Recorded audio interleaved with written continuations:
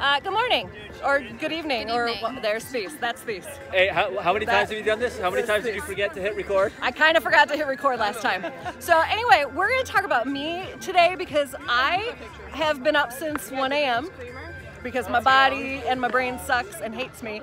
And I didn't eat much today, so I was much more useless on the field today than Disagree. normal. Disagree. Anyway, oh, there we go, Marcus. Okay, so let's talk about this one right here. Amazing, ridiculously amazing. Also, she's going to Hawaii next week, and that's just not fair. I'm So, pretty excited. We're, we're a little jealous. So we played lunch break. We're pink, they're purple. They were awesome. They ran a lot. They were really fast. Um, but I would like to point out that more than half of our points scored were scored by women. Woohoo!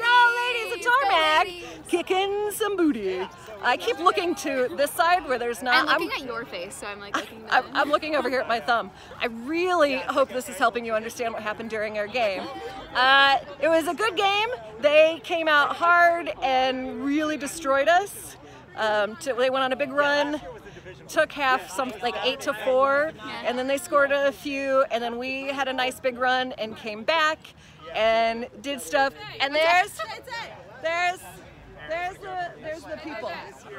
Go people. Go people. Completely useless um, recap. They won. Whatever. 10, no. 11, 11, 15. It was a good game. We had fun. It was a beautiful, glorious night.